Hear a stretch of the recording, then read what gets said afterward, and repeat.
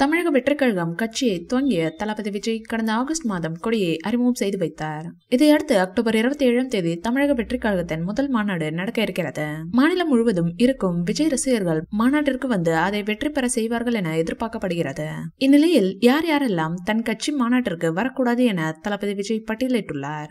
கர்ப்பிணி பெண்கள் பள்ளி சிறுவர் சிறுமியர் நீண்ட காலமாக உடல்நலம் பாதிக்கப்பட்டவர்கள் முதியவர்கள் தன் கட்சி மாநாட்டிற்கு வரக்கூடாது என கராராக கூறியிருக்கிறார். மாநாட்டு மாநாட்டிற்கு வர வேண்டும் என்கிற அவர்களின் ஆசையை விட அவர்களின் நலம் முக்கியம் என நினைக்கும் தளபதி விஜயின் நல்ல மனதை ரசிகர்கள் பாராட்டுகிறார்கள். இதனையடுத்து மாநாட்டுக்கு தமிழ் சினிமாவை சேர்ந்த அனைவரும் கலந்து கொள்ள உள்ளனர். தமிழ் சினிமாவில் உச்ச நட்சத்திரமான தலைவர் ரஜினியிடம் தாவேக்க மாநாட்டுக்கு வருவீரா என செய்தியாளர் கேள்விக்கு நான் கண்டிப்பாக வருவேன் என ரஜினி கூறியிருக்கிறார். அது மட்டுமல்லாமல் நான் தூக்கி வளர்த்த பையன் அவர் அரசியலுக்கு நுழையும் போது தன்னுடைய உதவியை செய்வேன் என ரஜினி நச்சென்று பதில் சொல்லியிருக்கிறார். இந்த விஷயத்தில் தலைவர் ரசிகர் என சொல்லவே பெருமையாக உள்ளது என ரசிகர்கள் மகிழ்ச்சியில் உள்ளனர். இதற்கிடையே ரசிகர்களுக்கு ஒரே ஒரு கவலைதான். சென்னை மற்றும் மதுரை தேசிய நெடுஞ்சாலையில் மாநாடு நடக்கிறது.